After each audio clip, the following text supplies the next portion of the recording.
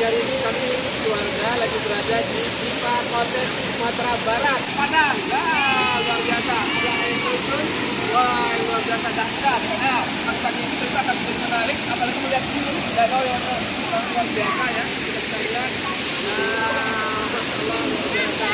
Nah, salam hangat dari kami semuanya dari Pipa Kota Sumatera Barat, Padang. Salam air terjun.